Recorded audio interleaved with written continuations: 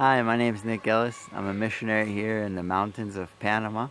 And like many of you listening right now, my plans have changed immensely because of this quarantine time, because of this coronavirus. And I just want to tell you one of the needs that has came up here in Panama. There's many families in this area that are going to bed hungry every night. Right, we've been doing uh, a work to feed about 20 families here a week. We're getting ready to go out. Uh, today we have 17 families that we're going to be uh, supporting with some different food, just the basic necessities, uh, rice, pasta, oil.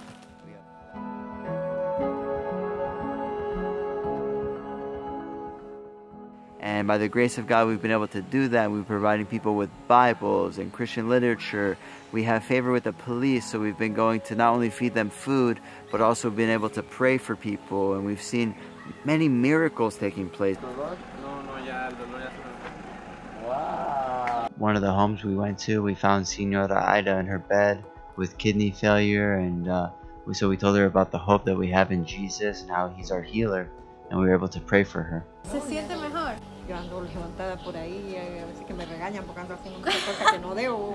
Después de que oramos por usted. Bueno, como que me sentí despejada. Le dije que ese día yo me sentía como con el aire cuando Many salvations, people getting healed, and uh, people just thanking Jesus for providing food and, and uh, physically and spiritually. But in that time, we've been getting many more families now are are, uh, are finding out, and they're in huge need. Their children are going to bed hungry every night. So we have about 70 to 100 more families that are in need right now. And we vow we don't want to let any of them go. We love to feed them every week. We're looking for people to partner with us. We're looking for uh, people to help fund what, what is happening right now. We're not normally an organization that, that focuses on this, but we see opportunity and we see need and we want to jump on that. So we just want to be his hands and feet.